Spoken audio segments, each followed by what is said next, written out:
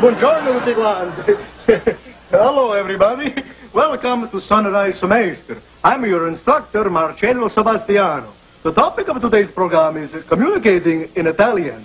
We will discuss the fantastic vocabulary range of the Italian Ains.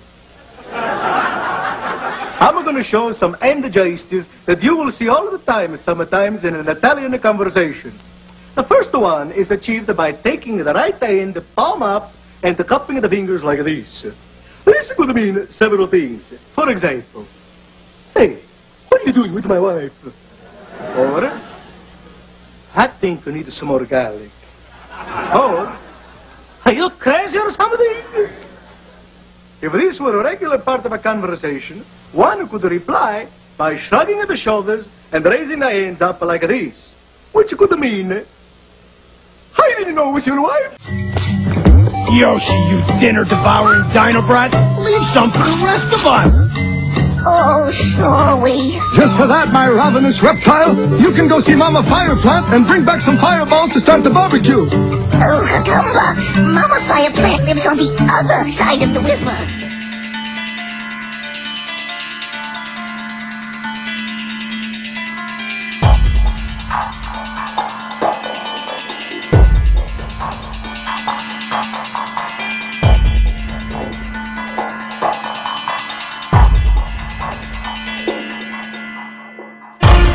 Something's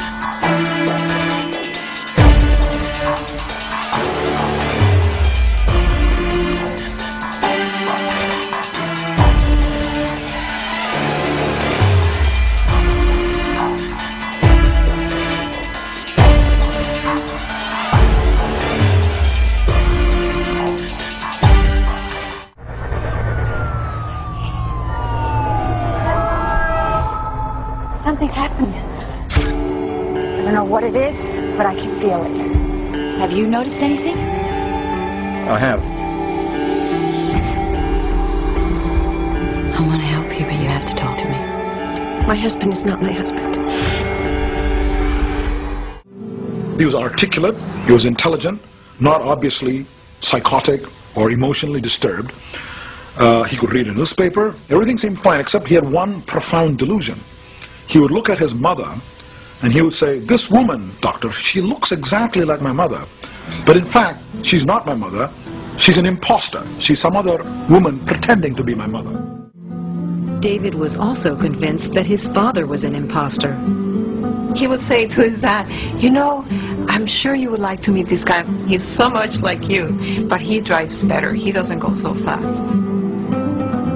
It can look identical to him, exactly like him, but it's not him.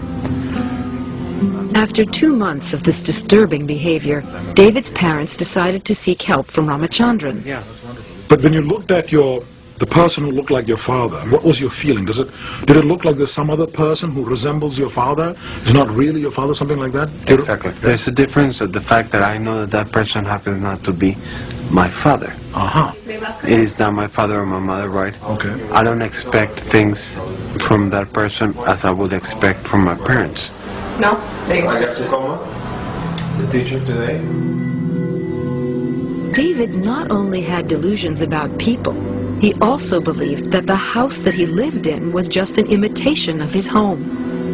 One day he started getting really angry. I want to go to my house. I want to go to David's house. I want to go to David's house. And we're in the apartment. And I'm just going, what am I going to do? So I decided, I said, okay, David, let's go. So I took him down the stairs. I went around through the back, came back through the elevator, took him to bring, you know, the same apartment. And I said, this is your house. And I opened the door and I said, okay, ciao. And I just left him there alone. It was the same apartment. And he looked at it and said, oh yes, this is my apartment. Things like that would happen. And, and then maybe a few days after, he would start saying, I want to go to my house. David's house. This is not David's house. Amazingly, David sometimes referred to himself as the other David, as if his own self were an impostor. The Capgras delusion has been known since the turn of the century, but has been treated as a curiosity, an anomaly.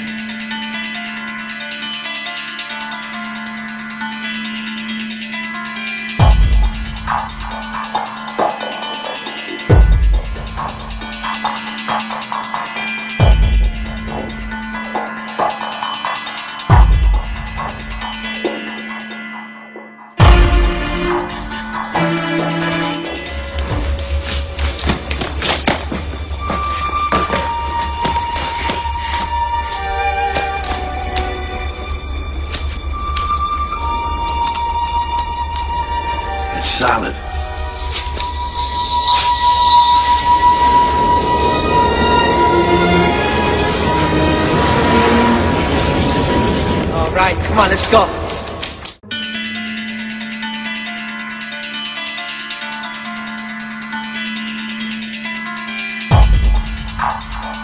We also practice phasing, crossing from particle to wave, from physical to energy. Solid objects seem to, to pass right through you. That starts with a breathing exercise.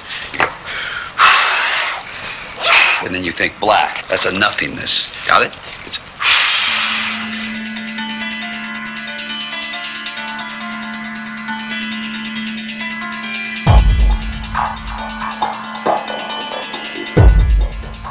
We don't know in quantum mechanics how to hook ourselves as observers up with the world. We don't know how to treat ourselves as observers as just another part of the physical system that we're describing.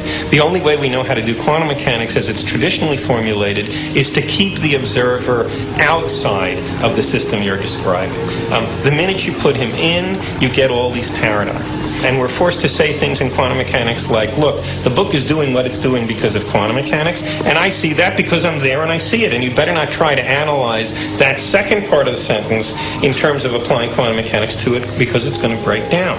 That's why there are these two separate laws of the evolutions of physical systems. One that applies when you're not looking at them, the other that applies when you are. But that's crazy. There's no way that we're ever going to mathematize or put into mathematical formula this very act in which a conscious observer comes up with the answer. People say, oh, the measuring instruments, the recorder records it, and there it is. It's on the tape. It's recorded. You forgot one part of the equation. Somebody has to look at the tape. And until somebody looks at the tape, it ain't recorded at all. When you are not looking, there are waves of possibility. When you are looking, then there are particles of experience. A particle, which we think of as a solid thing, really exists in a so-called superposition, a spread out wave of possible locations.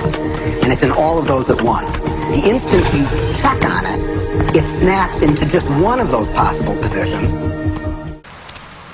invisibility. Invisibility. Yeah, that was level three. Like actual invisibility. Yeah, that was the goal. Eventually, we adapted it to just finding a way of not being seen. But once you understand the linkage between observation and reality, then you begin to dance with invisibility. Well, the way our brain is wired up, we only see what we believe is possible. Um, we match patterns that already uh, exist within ourselves through conditioning.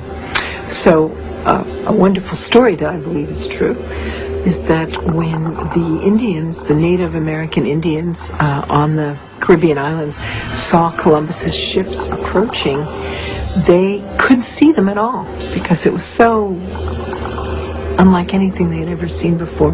They couldn't see it. When Columbus's armada landed in the Caribbean, none of the natives were able to see the ships, even though they existed on the horizon. The reason that they never saw the ships was because they had no knowledge in their brains or no experience that clipper ships existed. So the shaman starts to notice that there's ripples out in the ocean, but he sees no ship, but he starts to wonder what's causing the effect. So every day he goes out and looks and looks and looks, and after a period of time, he's able to see the ships. And once he sees the ships, he tells everybody else that ships exist out there because everybody trusted and believed in him. They saw them also.